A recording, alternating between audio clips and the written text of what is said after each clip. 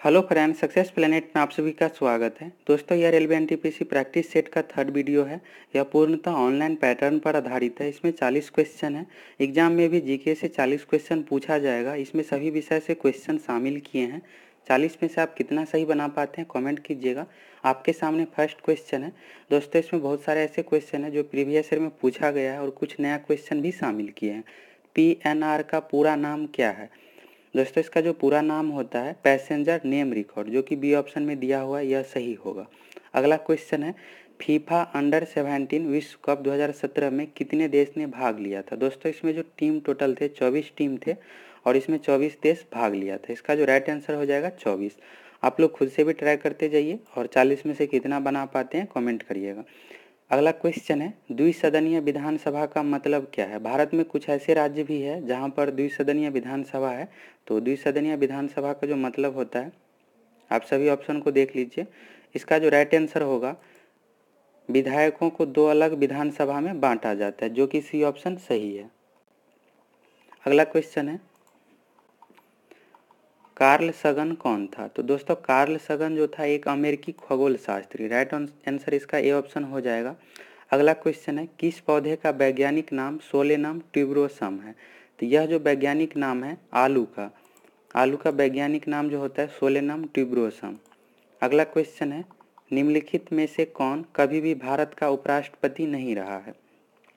A P J Abdul Kalam Bharat का राष्ट्रपति रहा है और यह कभी भी उपराष्ट्रपति नहीं रहा है। तो इसका जो राइट आंसर हो जाएगा ए पी जे अब्दुल कलाम अगला क्वेश्चन है, एक वस्तु पर लगाए गए गुरुत्वाकर्षण बल को क्या कहा जाता है? तो एक वस्तु पर लगाए गए गुरुत्वाकर्षण बल को जो कहा जाता है दोस्तों, भार कहा जाता है। वेट और भार को ही वज़न भी कहते हैं तो इसका राइट आंसर हो जाएगा सी ऑप्शन वज़न।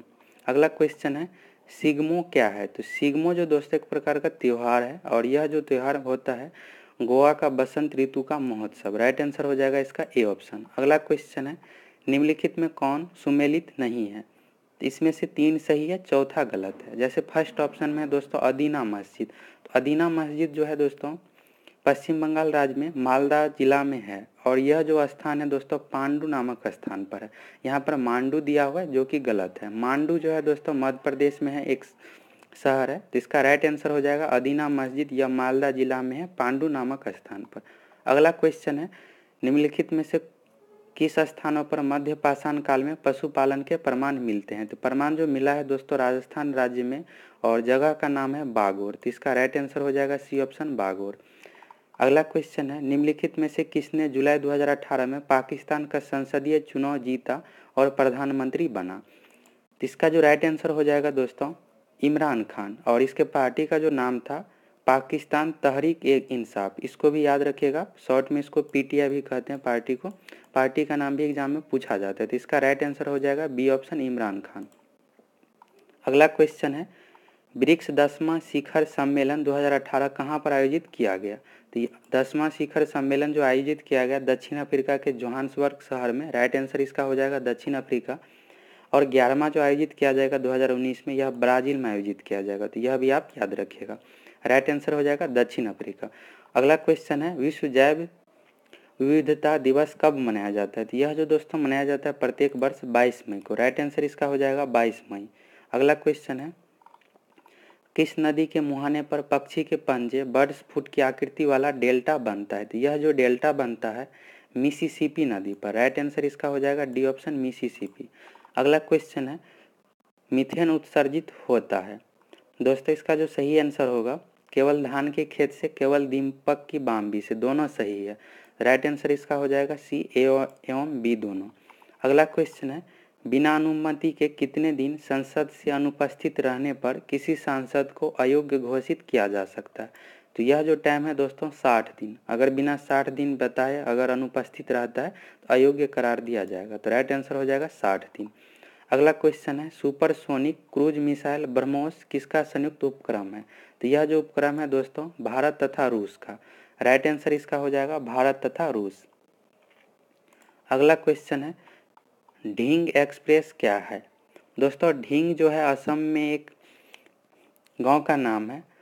और हिमा दास वहाँ से ढींग गाँव से थी। उन्होंने 400 मीटर के रेस में स्वर्ण पदक जीता था। तो इसका जो राइट आंसर होगा, हिमा दास का मुँह बोला नाम। इसे ढींग एक्सप्रेस के नाम से जाना जाता है। इसके गाँव का नाम ढींग है।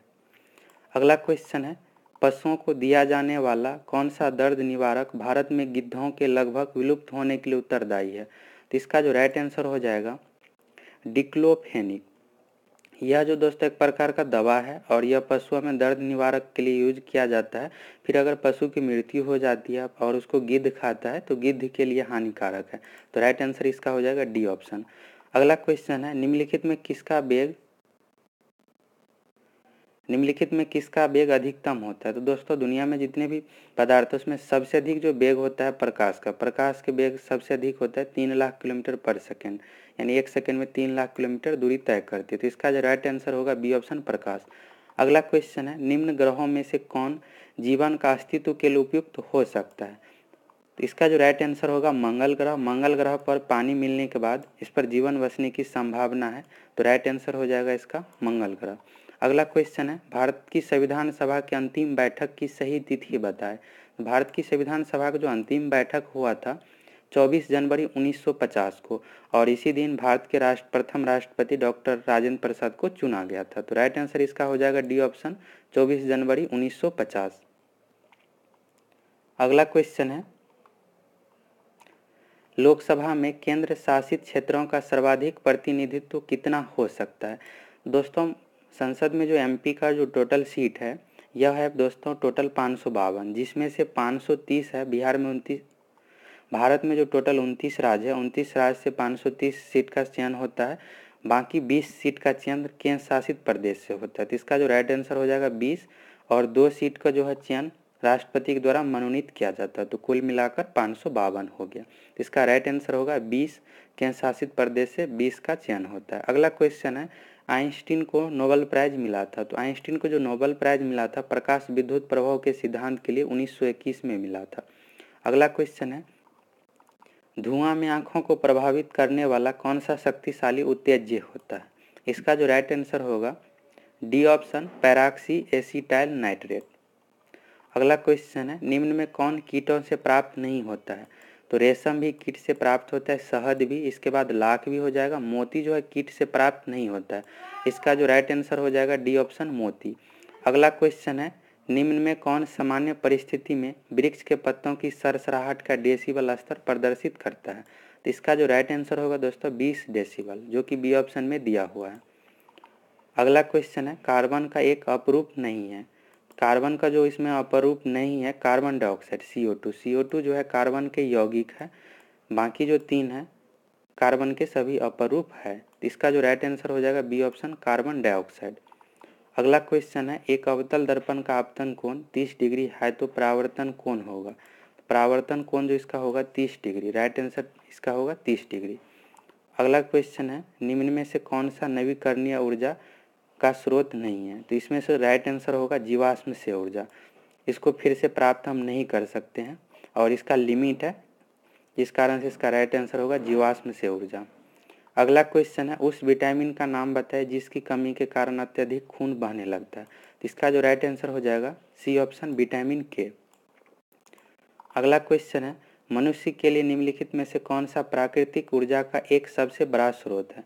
तो मनुष्य के लिए जो सबसे बड़ा प्राकृतिक ऊर्जा का स्रोत है सूर्य सूर्य से ऊर्जा जो प्राप्त करते हैं पेड़ पौधे पेड़ पौधे के बाद जीव जंतु और फिर मनुष्य को भी प्राप्त होता है। तो इसका जो राइट आंसर होगा सूर्य और सबसे बड़ा ऊर्जा का स्रोत भी सूर्य ही है। अगला क्वेश्चन है, एल्युमिनियम ऑक्साइड प्रकृति में है। तो एल्युमिनियम ऑक्साइड जो होता है दोस्तों, उभयधर्मी होता है, एम्फोटिक होता है। इसका जो राइट आंसर हो जाएगा डी ऑप्शन उभयधर्मी।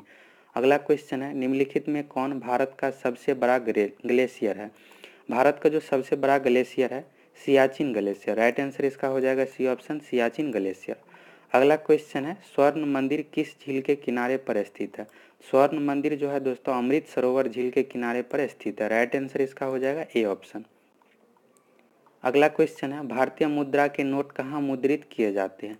भारतीय मुद्रा के जो नोट मुद्रित किए जाते हैं, यह नासिक में। इसका राइट आंसर हो जाएगा सी ऑप्शन नासिक। अगला क्वेश्चन है प्लेनेट नाइन क्या है? तो यह जो है दोस्तों, बाहरी सौर प्रणाली में प्रस्तावित एक बड़ा बर्फीला ग्रह जो कि डी ऑप्शन में दिया हुआ है।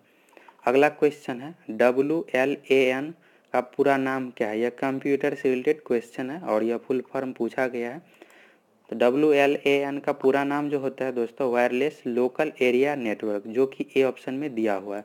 और एल ए एन का भी पूछा जाता है तो एल ए एन का हो जाएगा लोकल एरिया नेटवर्क आप इन सभी फुल फॉर्म को याद रखिएगा। राइट आंसर इसका ए ऑप्शन हो जाएगा।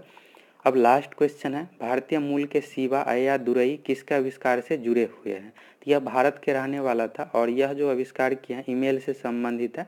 राइट आंसर इसका ए ऑप्शन हो जाएगा। आप 40 में से कितना बना पाए हैं? कमेंट कीजिएगा। थैंक यू दोस्तों।